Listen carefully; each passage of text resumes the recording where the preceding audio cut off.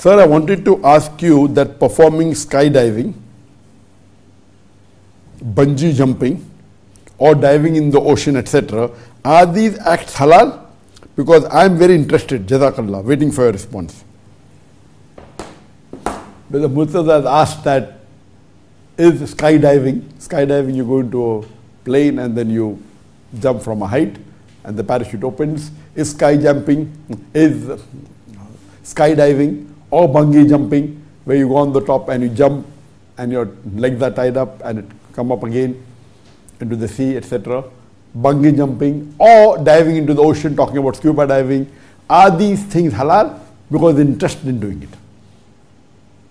All these are thrill rides or uh, thrill events where generally speaking, first you have to check that is it safe or not.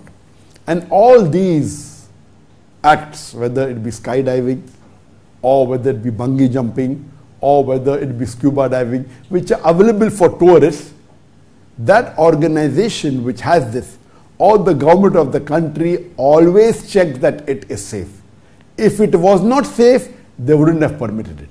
So number one, you have to see that is it safe or not and what are the chances of accidents.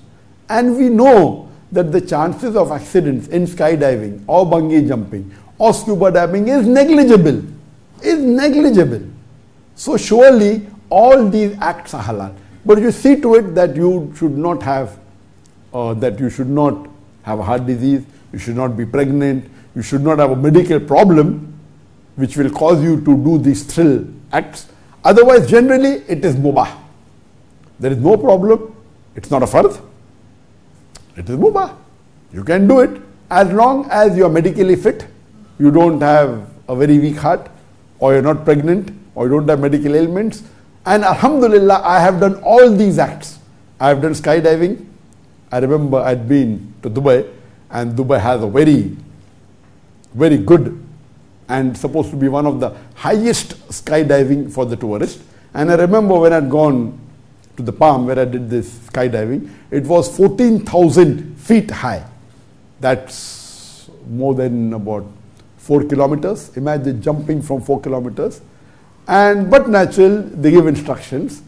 And when you ask how many accidents have taken place, they are negligible, not even one in a thousand. It's safe.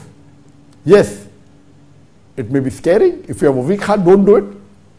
And I love these thrill rides. And I have done skydiving a couple of times. And when I did it the first time, I remember it was like, it felt like, you know, before you open the parachute, when you jump from the plane, you move very fast. They say at a speed of 220 to 250 kilometers per hour. I have ridden bikes at 170, 180 kilometers per hour. I've ridden car at 220, 230 kilometers per hour. But imagine you're falling from a height, from 4 kilometers height, and in few seconds you cover most of it. Towards the end of the fall, but naturally there's a trainer along with you because you're not an expert. So the trainer pulls the, the string and the parachute open and then you come down slowly.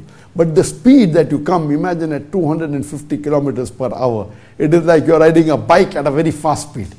And I love it. I love these thrill rides. They're with my children, Fariq, and with my daughters. But naturally, I have to be careful to see to it that the hijab is maintained. Uh, when my daughter and when uh,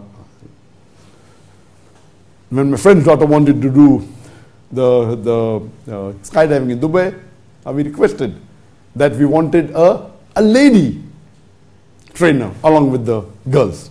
So I had a gent trainer and the ladies, they had a lady trainer. So if a lady, because you're strapped along with the trainer because you're an expert, so for the tourist, for the beginners, when you jump, you're jumping along with a trainer and the trainer is the one who's controlling everything, otherwise it will be difficult. So when you're doing these thrill acts and if there is a trainer, see to it the trainer is of the same gender. This is one thing you have to take care. And but naturally the trainer sees to it, controls whether you're going paragliding. We had recently been to paragliding or whether it be parasailing, all these are thrill acts. There is a person along with you in most of the thrill acts, not in all. And regarding bungee jumping. I remember the first time that I had done bungee jumping was in USA. It was in New Jersey. And that was somewhere about more than 15 years back.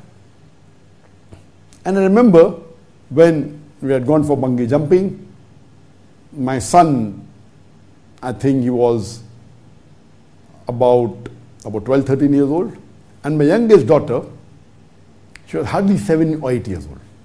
And she was insisting that even she wants to come for the bungee jumping. And that was about 450 feet high, supposed to be very high bungee jumping. And I told her, you can go and ask the operator if he allows, I've got no problem. And I was 100% sure that how will they allow such a young child of seven years old, you know, he shot. But I was shocked. The operator said, no problem. And I was in a fix. When we went for the bungee jumping, you know, we are raised by a machine. And I and my son and my daughter together, and the string was in my hand. Believe me, I was very scared. Not scared for myself, I was scared for my daughter. She is only seven years old. And imagine something happens. But I was stuck. I told, ask the operator, and operator says, and then she insisted she wants to come. And she's very bold. And I was, the event, one of the most where I was scared was this time. And imagine I had the string, I just did Bismillah and I pulled it. And all three of us, my son, my daughter, my younger daughter, and myself, we came and we fell at a high speed and you know, in the bungee jumping, then again there's a spring and you come up and it keeps you know, bouncing. That was one of the rides or the thrill events in which I was absolutely scared because my daughter was only seven years old. And we have also done scuba diving. We have gone a few times in Mauritius, we have gone in Malaysia, and it's beautiful. Of course, they give you a training and they give instruction. This is the first time you're doing it, there's a trainer with you, and the trainer is there. If something happens, he will take care of you. And in these events, see to it that the trainers of the same sex it is no problem at all. It's perfectly halal. If you have a soft heart, if you're scared and you cannot take it, don't do it. But is it halal? Yes, it's halal. In fact, I would say it is good because you know this gives you a training. The Prophet said that you have to do horse riding, you have to do this, so that it gives you more courage. So I've, I, I love and I've seen to it that my children do it.